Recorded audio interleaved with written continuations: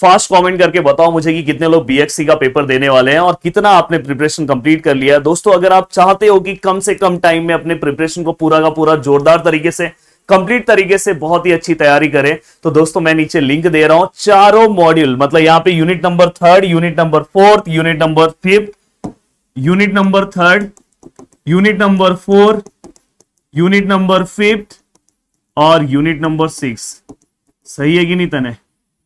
चारों का लिंक आपको नीचे मिल जाएगा।